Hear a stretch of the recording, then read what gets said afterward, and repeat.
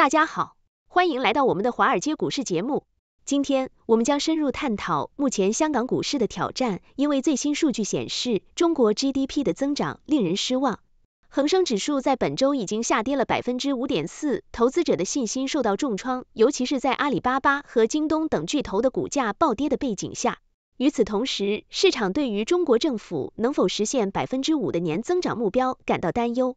然而，并非所有股票都在下跌，金矿股和半导体股票却出现了反弹，显示出市场的分化局面。尽管如此，分析师警告，若政策不及时调整，未来的经济前景将更加暗淡。不仅如此，中国近期的刺激措施也引发了市场的广泛疑虑，投资者对政策的透明度和有效性感到困惑。许多分析师对于中国的经济优先事项提出质疑，并认为未来的政策可能并不会全面刺激消费，这使得市场情绪更加不确定。在全球范围内，各大市场表现不一，这也在加剧投资者的焦虑。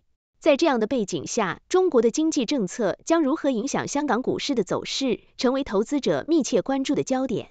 请大家继续收看详细内容。今天我们聚焦于全球市场的动态和美国国内的重大社会案件。首先来看来自南华早报的报道，香港股市面临连续第二周下跌，这一趋势是对中国第三季度 GDP 增长数据失望的直接反应。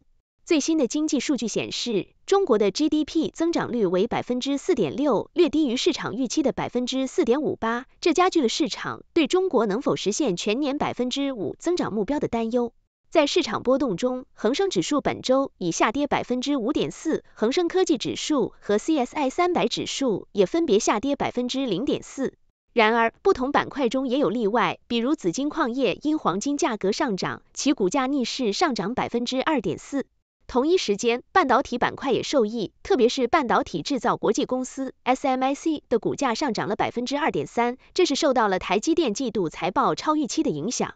尽管部分股票表现亮眼，但整体市场情绪依旧偏向谨慎。投资者关注中国政府未来的政策走向，尤其是在财政刺激措施方面的动向。从更宏观的层面看，中国政府此前推出的一系列刺激措施让市场一度充满希望，但随后的具体政策细节模糊，使得市场信心受挫。全球市场的不确定性，尤其是来自美国选举的因素，也让北京在政策制定上表现得更为谨慎。一些分析认为，中国的政策制定在于如何平衡刺激经济与实现长远的结构性调整，这无疑是一个复杂的挑战。与此同时，全球其他市场的表现各异。日本的日经二百二十五指数小幅上涨，而韩国的 c o s p i 指数和澳大利亚的 S&P ASX 二百指数则分别出现了不同程度的下跌。这种市场波动不仅仅反映了投资者对中国经济前景的担忧，也显示出全球经济环境的不确定性。我们还需要讨论的是，从美国传来的一个重要法律案件，涉及到性别认同的仇恨犯罪，这也同样令人关注。南卡罗来纳州的一名男子因杀害一名黑人跨性别女性，被判处无假释的终身监禁。这起案件于二零一九年发生，被告达夸拉米克里特因对受害者麦姆多的性别认同感到羞耻，在他们的关系被曝光后，用枪将其杀害。这是美国首个因性别认同导致的仇恨犯罪被定罪的案例，也引发了关于性别认同和 LGBTQ 加群体安全的广泛关注。检方在量刑中寻求最严厉的惩罚，而辩护方则争取里特的假释机会。然而，法官最终没有采纳辩护方的请愿，认为案件的性质和影响深远。此案不仅反映了社会对性别认同的复杂态度，也凸显出在法律和文化层面，如何更好地保护少数群体权益，依然是一个重大议题。这种案件的审判和判决过程对社会具有深刻的教育意义。它提醒我们，推进社会的包容性和多样性需要法律的支持，同时也需要公众意识的提高。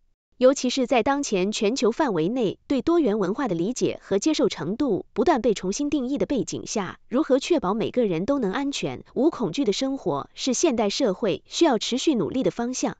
回到市场层面，香港股市的下滑以及对中国经济的担忧，反映了投资者对全球经济复苏的谨慎态度。而美国国内针对性别认同的法律案件，则标志着社会在应对多样性挑战时的进步和不足。这两者虽然一个是经济领域的现状分析，另一个是社会正义的讨论，但他们都揭示了在瞬息万变的全球背景下，各地在应对变革时所需要的敏锐和决心。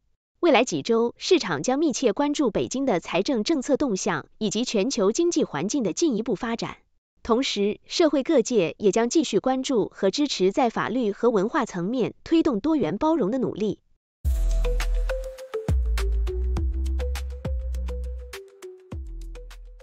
欢迎大家进入六度探索的辩论环节，我们从正反两个角度对本节目进行辩论，请出我们的辩论高手楚天舒、谢琪琪。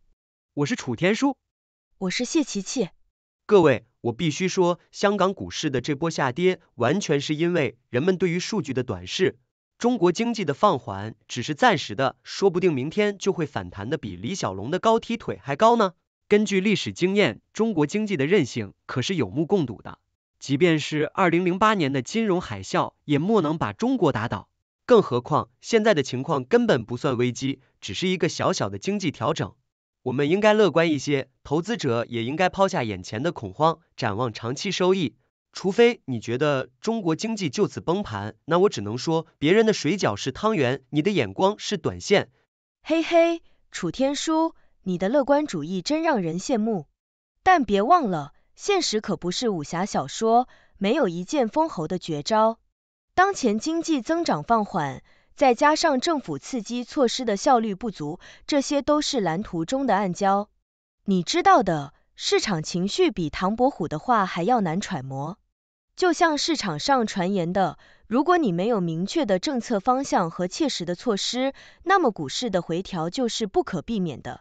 除了紫金矿业这类个别逆势而上的例外，整体市场的悲观情绪显然会让投资者的心脏比他们的投资组合跳得更快。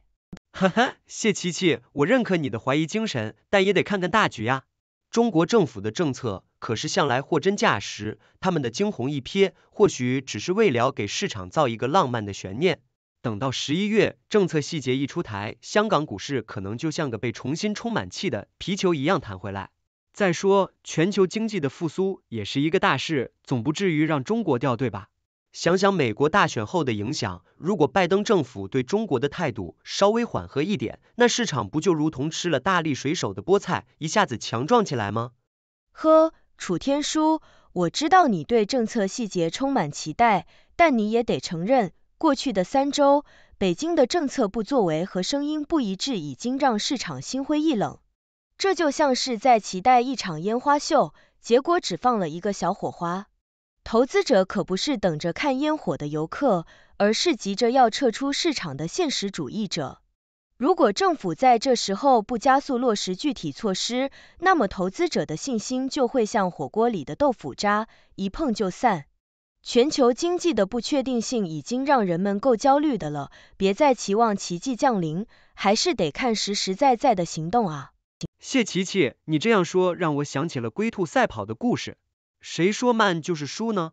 有时候慢工出细活，谨慎的政策调整才能避免大错。中国政府的步调或许不如你所期待的快，但他们的考量是长远的、战略性的，不是短期的兴奋剂。不过，我们都清楚，内部市场调整的同时，外部因素也会影响很大。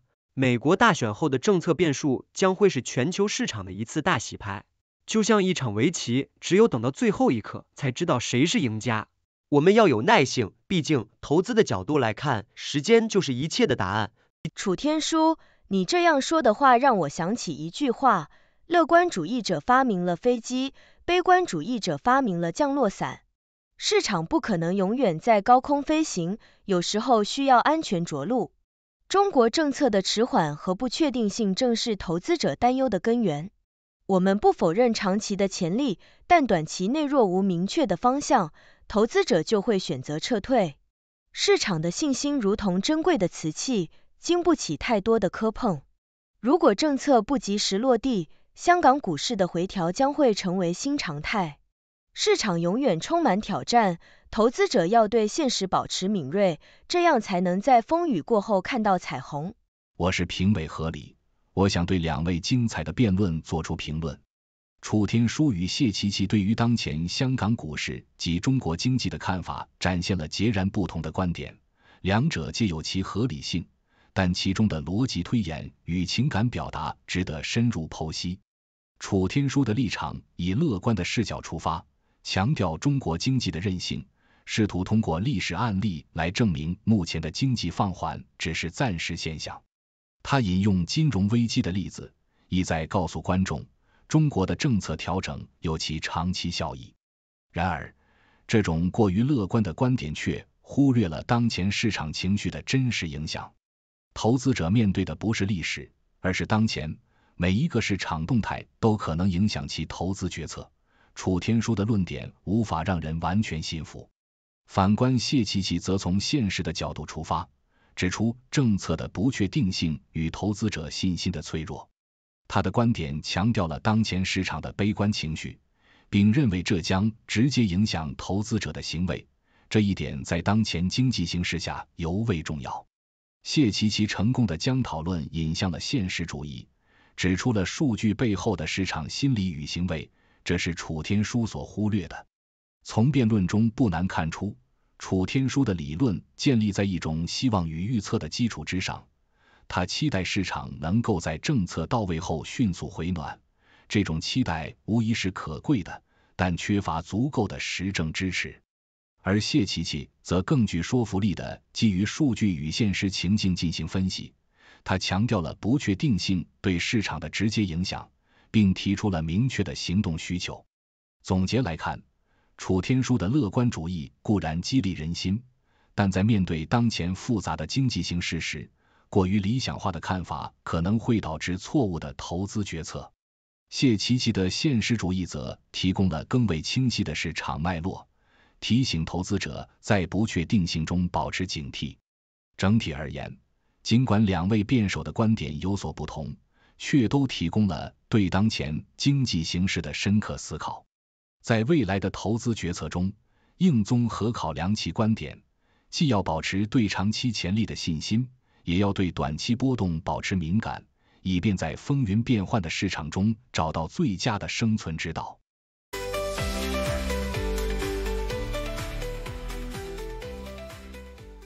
思想先驱报，成为有洞察力的人。华尔街电视特别节目，纽约时间每天早上八点，李奇博士主持。和平评点，谢谢大家收看六度探索。这是一个由科学家、经济学家、媒体人、工程技术人员合作建立的新型媒体。网友与六度 AI 参与合作完成各种内容，这些内容不能作为任何决策或法律的意见。这是一个新型的试验性媒体方式，我们希望得到大家的支持，修正错误。网友可以参与讨论，也可以向万能的六博士提出你能想出的任何问题。六度世界网址是六度 World，请介绍给你的亲朋好友。